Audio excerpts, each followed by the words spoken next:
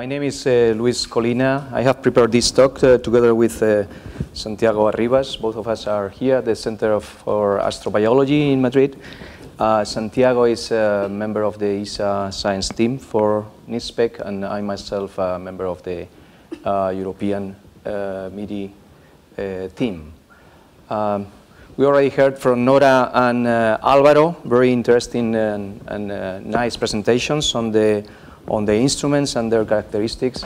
And the idea of this talk is to just give you uh, more uh, the perspective from the, the observers. And uh, for that, I have divided the, the talk in, in two blocks. The first one is just uh, showing and explaining a, a, little bit in, in detail the science capabilities of the, these two instruments on the integral field spectroscopy.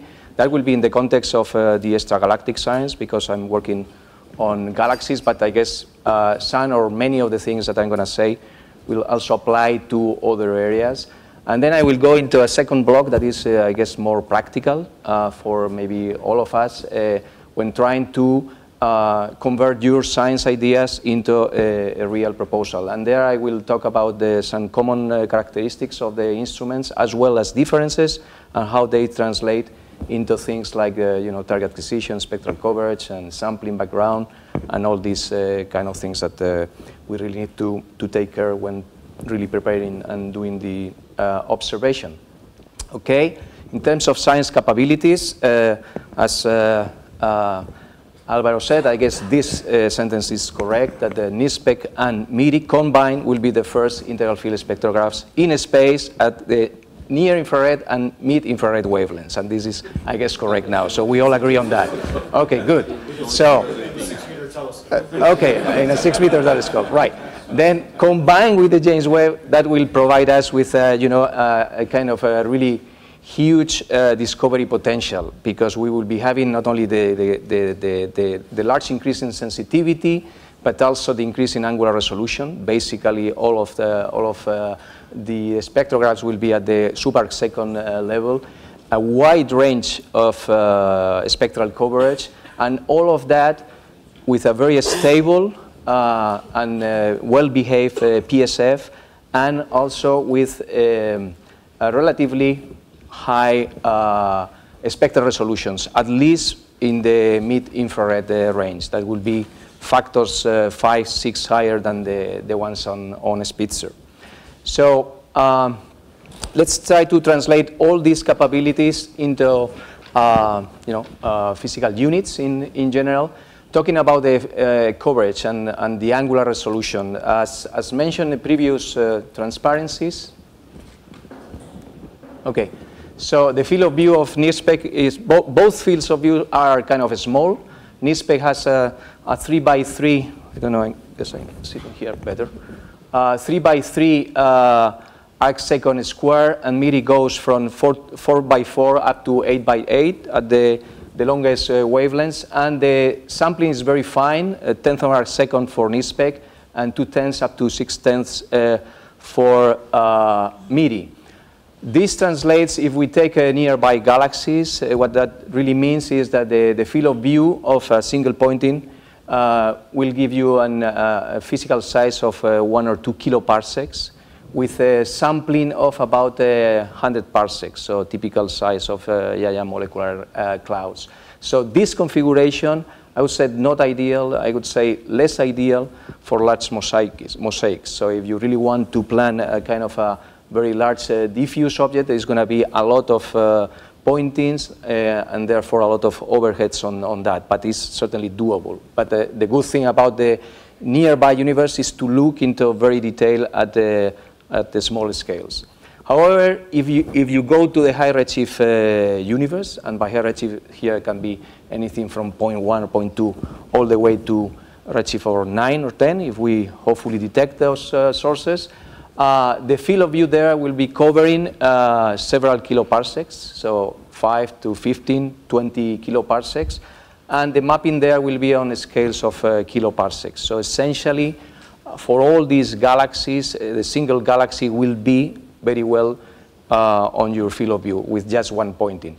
Could be extended in some cases, and in other cases, as already mentioned, would be likely point sources. But basically, on your field of view. So uh, field of view of, of the spectrographs, uh, nice if you want to study uh, small scale structures in the nearby universe. Very nice if you want to point and have uh, kiloparsec uh, studies on the high redshift uh, galaxies. Uh, in terms of spectral coverage, already said, we are free from the atmosphere, so we don't have to take, we are free from the thermal emission from the atmosphere as well as, as emission, line emission, and absorptions. So we will have for the first time a continuous coverage of the, the range from the 0.6 uh, microns all the way to 28 and, and up uh, microns.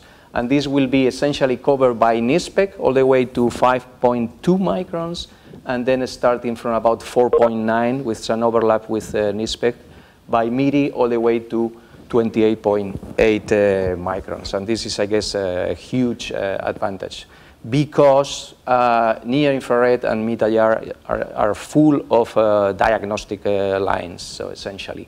If you take the, the near infrared, so there are plenty of lines that are tracing all the phases of the interstellar medium from coronal lines that uh, trace AGNs or high energetic uh, phenomena in, in galaxies, in our galaxy, to uh, ionize interstellar medium, Paschen, Brackett, Balmer lines that uh, will be there just giving the overall ionization budget on, on your objects, uh, molecular lines that will trace the hot molecular phase, shock uh, emission through the iron lines, uh, star formation, PAH at the 3.3, and of course, uh, stellar continuum with all the stellar features in the, in the near infrared. Uh, important aspect here on the near infrared with uh, NIRSPEC is, of course, the PAH 3.3 and all the Brackett uh, lines that are going to be basically uh, new for all these kind of studies because uh, essentially was uh, Akari, as shown here in this uh, transparency, the only instrument so far able to get kind of a, a relatively nice spectroscopy. in terms of mid-IR, exactly the same full of uh, different species, uh, atomic line, sorry, oh, atomic lines um, of different species, uh, elements, uh, different uh, ionization potentials, as well as all the rest of the PAH uh, features. Carl is, is happy about that. Uh, and as well as many of the molecular lines in the meta, meta range. So they will be a full of uh, uh, lines and di diagnostics to do all the physics that you really want to do on, on these objects. And it's not only that you have all these uh, uh, lines available uh, to you basically in a continuous way, but it's of course the sensitivity of the, the instrument that is really amazing. Just to, as already mentioned, no, is, is this, uh, this new instrument is going to be at least uh, 100 times more sensitive than any other previous instrument at those wavelengths. And this is really uh, something uh, uh, uh, extremely, um, you know, with extreme potential. Just to give you some numbers, I'm not going through all these numbers, but uh, you can get uh, NIRSPEC, uh, you know, sensitivities at the distance sigma 10 k seconds of, of the order of a few times 10 to the minus, uh, 19 up to 5 to uh, 10 to minus 18. And for MIRI is basically because the different detectors, uh, technology, and so on, is a factor 10 less in sensitivity.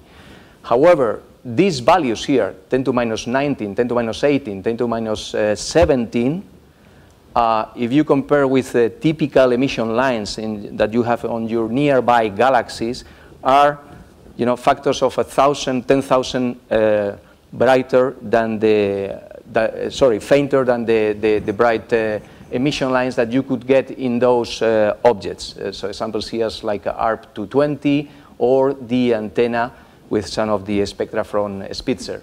So that essentially, bottom line is that if you take, you, you know, a kind of a 15 minutes uh, exposure integration with a resolution of uh, 3000, so the best resolution you could get with these two spectrographs, you could get already very high signal to noise on your emission lines, both for uh, NIRSPEC and uh, MIRI uh, as well. Of course, there is always a whole range of uh, you know, emission lines and so on, and then again, if you really want to check for your specific target, go and do your detailed uh, modeling with the ETC. But the bottom line, few minutes will make uh, amazing uh, maps on many uh, traces nearby uh, galaxies.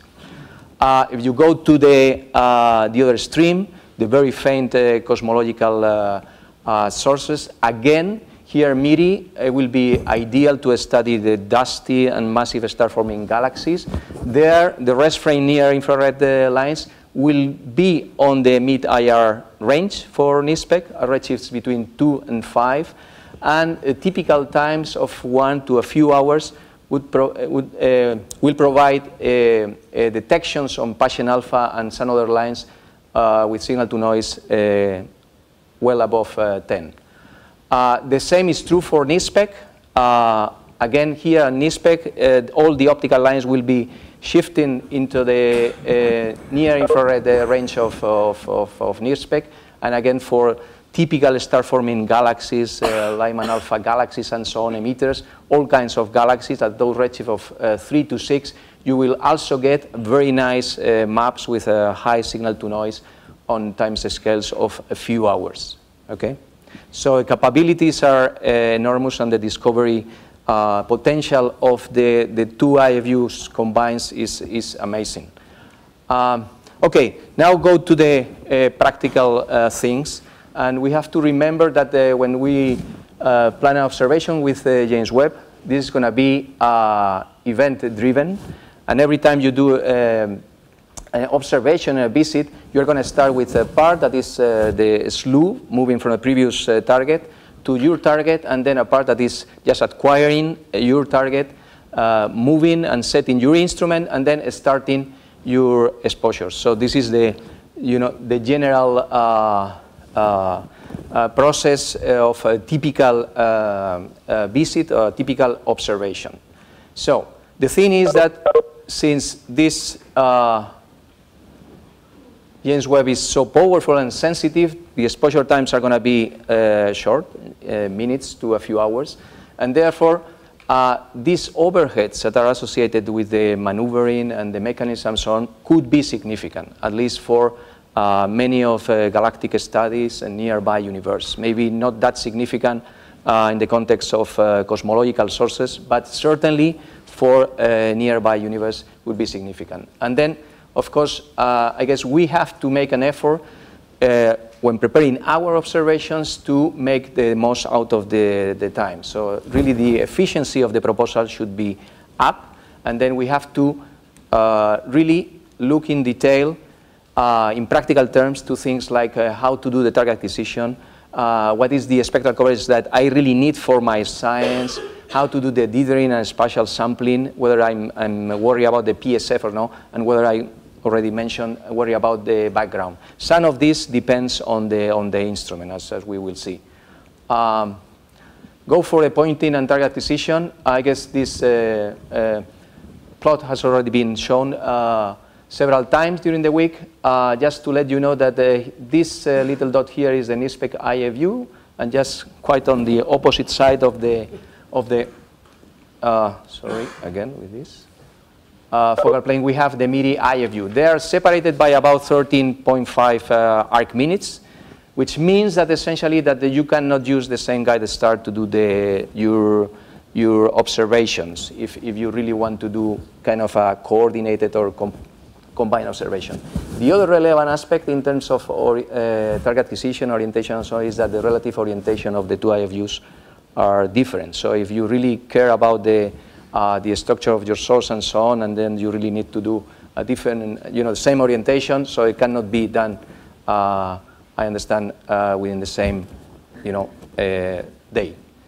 So uh, what this implies in terms of uh, overheads is that there are essentially two strategies to do the, the, the oh my gosh, I'm having problems with this.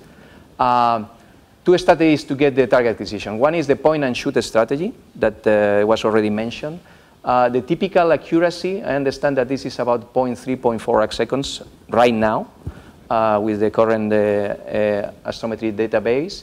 Um, but probably if you have a, a, a target that is uh, kind of extended and have a structure, you really want to have a better accuracy on your uh, final positioning. So you, you therefore would like to have a target acquisition.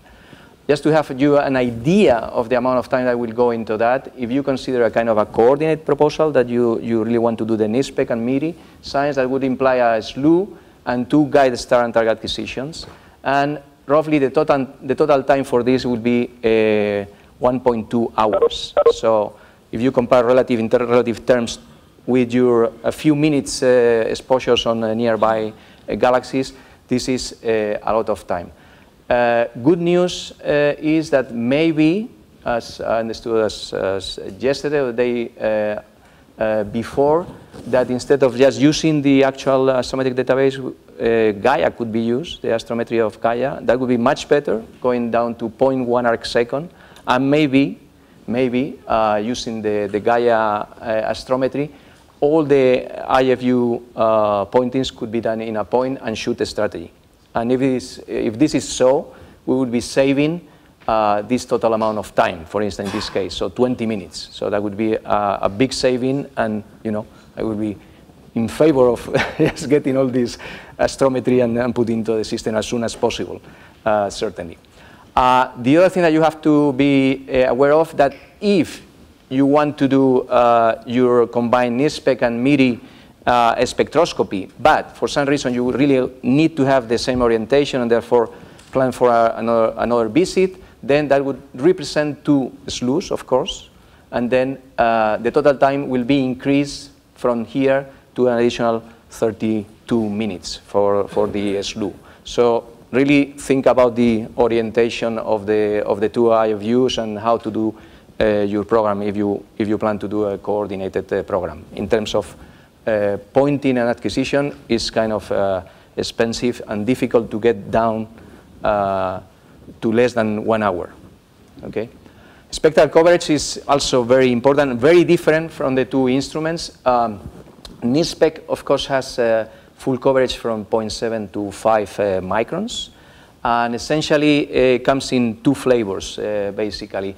Is the low resolution, the resolution 100, that goes in just one shot from uh, 0.6 all the way to 5.3. That would be uh, very nice. But then if you plan to do, to do your uh, intermediate resolution, either at the level of 1,000 or 2,700, so you really need to have four uh, settings, so consecutive uh, settings.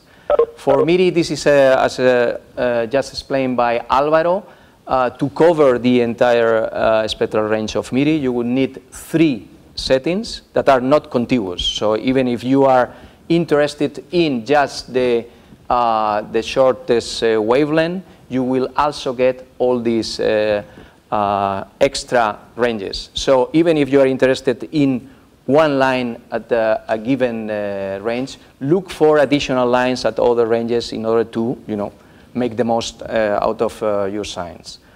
Um, okay, regarding the, the resolution, uh, one therefore needs to think very carefully about the, the location of the high priority lines or features and uh, how to select the specific settings.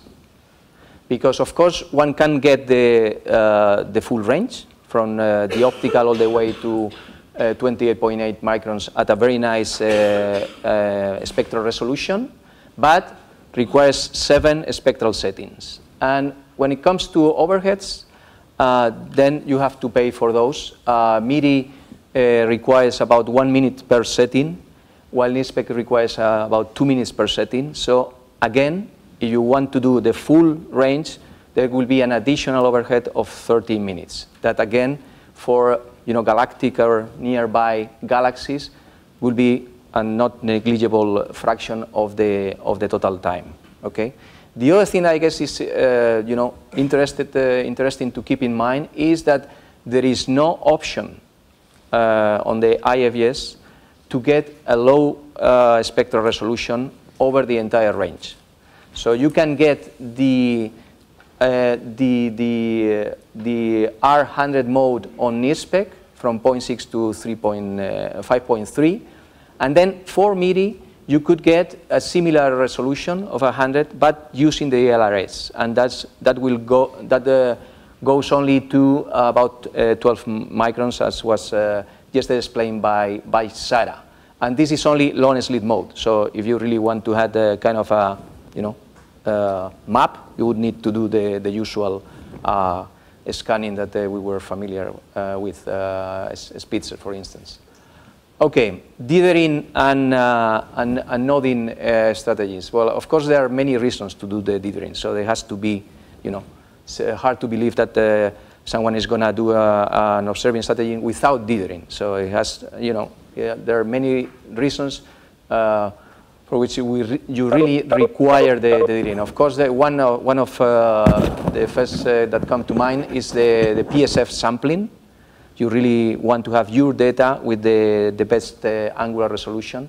The other is uh, everything related to uh, detectors, cosmetic uh, defects and uh, character characteristics in general, minimize all these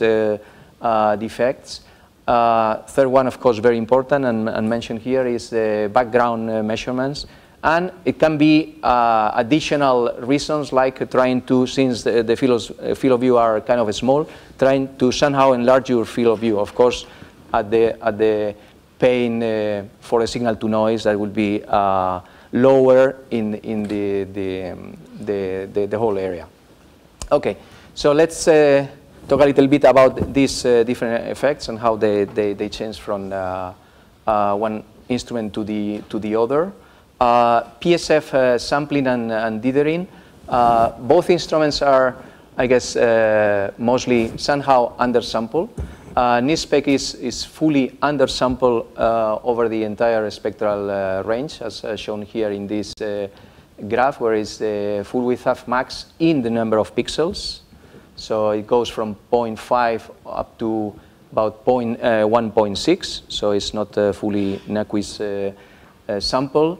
And then uh, for MIRI, the different channels, uh, one being the bluest and, and for the, the reddest of all channels, uh, you, you have uh, good sampling along the slides uh, for channels 2, 3, and 4, but uh, still you are just about to, to be sampled at the channels 3 and 4 across the slides and, and, and, and somehow with a, a lower quality in terms of sampling for channels 1 and 2. So essentially, if, if you really want to get uh, your, PSF well sampled, you really need to do the, uh, the dithering for, all, for the two instruments. Uh, what happens with the background? Well, uh, Maka gave a, a nice uh, uh, talk on, on Monday, so I would ask you to just go to Maka's presentation for all the details. essentially, of course, moving from HST, that is very familiar for most of us to James Webb, uh, reduces the background uh, dramatically, of course. But since we have uh, this uh, wonderful instrument so sensitive, we still uh, have uh, additional sources of background that really are there and then they have to be taken into consideration. the usual ones are the sky, zodiacal, and, and galactic that would affect the, the two instruments. Uh, the telescope, in general, the thermal uh, um, emission from the, the, the different uh, components of the telescope will affect uh, uh, dramatically. And then we have an instrument-specific uh, background, also mentioned by, by Nora on, on his presentation, uh, NIRSPEC specific due to the MSA imprint on the, on the IFU. Um, so Sky, uh, for, for MIRI, uh, this uh, zodiacal light is the one that really dominates the MIRI background at wavelengths uh, shorter than uh, 12 microns. And this is the, the main say, source of uh, background for, for MIRI and has to always to be taken care of. Uh, for NIRSPEC, uh, the importance of this background depends very much on the, on the science case. And uh, the things that you uh, really need to consider is uh, resolution. If you have a kind of a high resolution, 1,000 and 3,000, in general, you are going to be in a situation that is dominated by the detector noise. But if you go and try to use the R100, uh, resolution, and in particular are interested in wavelengths uh, shorter than 2 microns because the sun scatter light, uh, that could be an, a very important uh, effect. Uh, regarding whether you are interested in emission lines or continuums, certainly if you're interested in emission lines is uh, less relevant, but if you are interested in continuum and having a very nice shape on, on your continuum, certainly this is a very important effect also uh, uh, for NIRSPEC.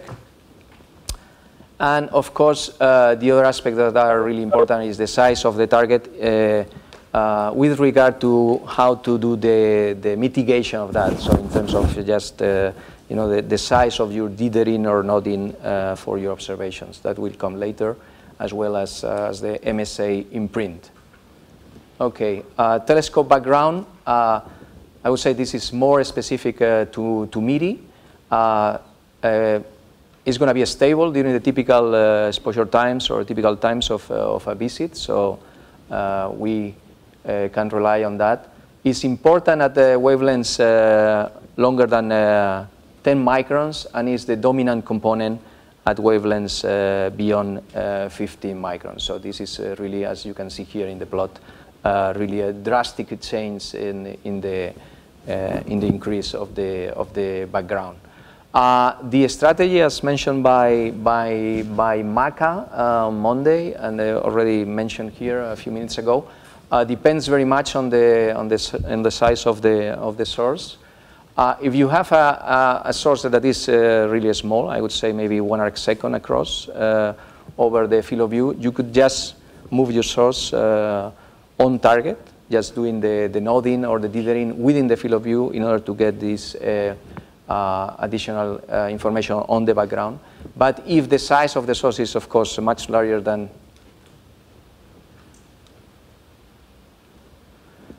uh, than the field of view or about the same size, uh, certainly you really need to go off source to get uh, at least one measurement of, uh, of your background. And assuming that it's going to be stable, that would be uh, the minimum uh, quantity in terms of off source pointing. Instrument specific is, as, as said, uh, NIRSPEC uh, specific. Uh, Nora uh, presented in detail on, on her presentation. Uh, is due to the, the fact that the, the IFU shares the same detector as, as the multi-object spectrograph, and therefore they have uh, leakings and the fail open shutters. And uh, then, they, of course, there are many, as mentioned already, many sources there that could affect, that could increase the background. The, the diffuse zodiacal and galactic light, celestial sources that uh, happen to land, you know, in, in uh, one of these open micro shutters. But uh, certainly uh, another important uh, aspect to consider is uh, your own target, that was already mentioned here, that if extended by more than 10 arc seconds, that is the, the, the, distance between the IFU, the NIRSPEC IFU, and the, the age of the M MSAs, will have, we could, uh, could also have an, a potential impact on the, on, the, on the background. Okay, so you really have to, uh, to consider all these sources. Uh, again, the strategy uh, mentioned by Nora and, and, others depends very much on the science case. It's been uh, investigated and being studied, but certainly uh, the, you know, the obvious thing is to, to use a dedicated exposure with the, the close IFUs and do the dither pattern uh, uh, and the same way as, as, you, as you did uh, on your observations. other options are, I guess, considered within the NIRSPEC team is to model the background and try to do an hybrid of just a single exposure and uh, you know the, try to correct the background, uh, the model with uh, your observation. all in all, these effects of the MSA imprint are more relevant if interested in continuum and if interested uh, in R100 uh, resolution are less relevant if you are interested only in uh, mission lines and at the, the higher uh, spectral resolution. So it's something that you have to consider very careful uh, in order to do the, the trade-off between the amount of time required and the accuracy of, of your uh, measurements. Okay, so finally, to combine, the, of course, the, these uh, effects, background and PSF and other effects, Uh, the two instruments have uh, dithering and nodding uh, strategies. Uh, for PSF, uh, you know, sampling and cosmetic, as well as for background measurements. NIRSPEC has, as, as you know, just mentioned by, by Nora some predefined dithering patterns. Uh, I understand that the user uh, would be able to define uh, his own patterns from, uh, from those uh, basic uh, patterns that they, they, have, in particular the 60 points dither. MIRI has kind of fixed patterns that are optimized, as mentioned by Alvaro, as a function of the spectral range, because uh, one of the things is the, the size of, that you move to do your dithering, that essentially are two and four uh, point uh, ditherings. And uh, regarding the background, as already mentioned, uh, really if your target is extended, you know, uh, a few arc seconds, the best way is to just move away uh, from your source and get at least one background measurement. Keep in mind that doing all this dithering and all this nodding and so on uh, always involves these small angle maneuvers. And uh, right now, if I understood correctly, uh, if you do this small maneuvering distances uh, less than three arc seconds uh, cost about uh, 25 seconds, but if they are above the three arc seconds, probably this is, you know, it's not jumping from 25 to 65, but it's kind of linear or non-linear maybe, will go up to 65 seconds. so again, galactic sources nearby galaxies where you have kind of a short exposures, all these ditherings that are really, we understand, uh, needed to get uh, you know, a good uh, sampling on your PSF, a good uh, measurement of your backgrounds and cosmetics, uh, will cost uh, you know, a reasonable fraction of, of time. And therefore, you really need to, to think very careful about the, how to do your dithers and the size of your dithers and all these kind of things. Okay.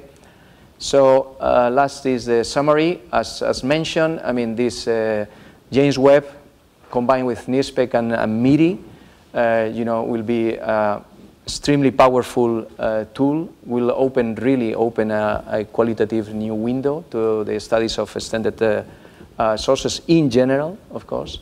Uh, because this uh, unique uh, combination of, of features, so the increased sensitivity, the wide spectral range, the stable subarc second angular resolution, and the possibility of doing this intermediate redshift similar spectral resolution all over the, the spectral uh, range. So typical on-target uh, times uh, could be short, minutes to a few hours, even for, for faint uh, cosmological sources.